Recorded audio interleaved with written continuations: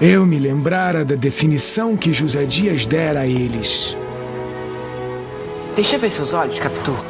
Olhos de cigana oblíqua e dissimulada. Eu não sabia o que era oblíqua, mas dissimulada eu sabia.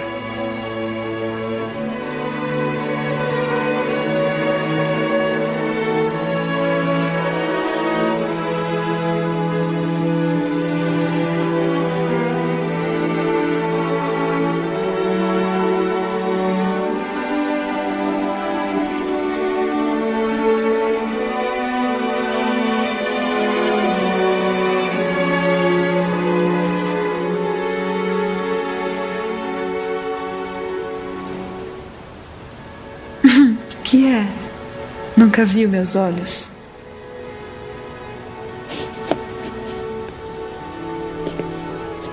Retórica dos namorados. Dá-me uma comparação exata e poética para dizer o que foram aqueles olhos de Capitu. Não me acode imagem capaz de dizer o que eles foram e me fizeram. Olhos de ressaca. Vá, de ressaca. Eu poderia pentear seus cabelos se quisesse. Você Eu?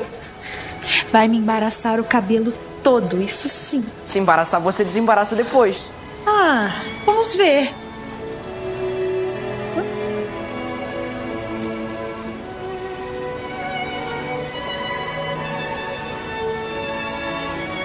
O trabalho era atrapalhado. Às vezes por minha falta de jeito, outras de propósito, para desfazer o feito e refazê-lo. Senta aqui que é melhor. Ah, vamos ver o grande cabeleireiro. Mas os cabelos iam acabando por mais que eu os quisesse intermináveis. Desejei penteá-los por todos os séculos dos séculos. Tecer duas tranças que pudessem envolver o infinito por um número inominável de vezes. Se isto vos parecer enfático, desgraçado leitor, é que nunca penteastes uma pequena, nunca pusestes as mãos adolescentes na jovem cabeça de uma ninfa.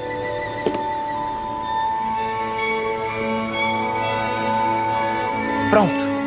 Está bom? Veja no espelho.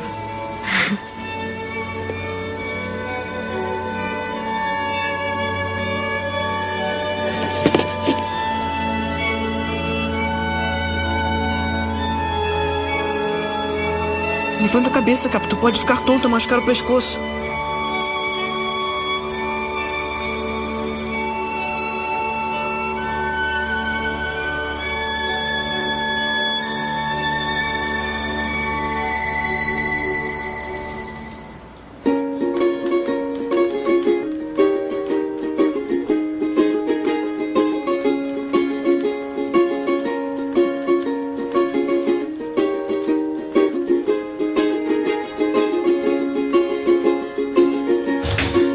I was young, I'd flee this town. I buried my dreams underground.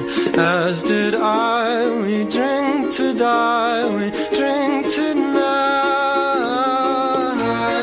Mamãe, olhe como este senhor cabeleireiro me penteou. Veja que tranças. Ah, está muito bom. Ninguém diria que é coisa de quem não sabe pentear. O que, mamãe? Isto. Ora, mamãe. Ai, mas que tonta! Não zombes dos meus 15 anos, leitor precoce. Muitos aos 17 não pensam ainda na diferença dos sexos.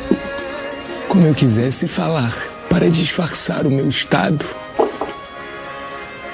Chamei algumas palavras cá de dentro. Mas elas encheram minha boca sem poder sair nenhuma. todas as palavras recolheram-se ao coração, murmurando. Eis aqui um que não fará grande carreira no mundo. As emoções o dominam.